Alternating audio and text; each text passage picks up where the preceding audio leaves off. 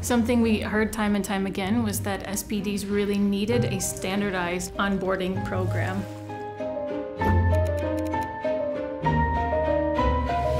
I strongly feel that losing the connection between the work and the purpose of the work that we do is a key reason why things often go wrong in sterile processing. One thing that we really focused on in this program is that it needed to be practice-based. People needed to understand what was required in the department, how should they function, what were the steps.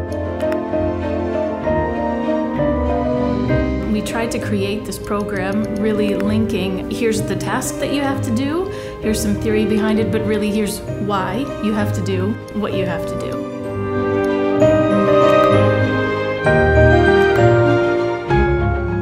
Understanding the why something is used and how it is used is crucial to connect the dots between the action and our role in patient safety.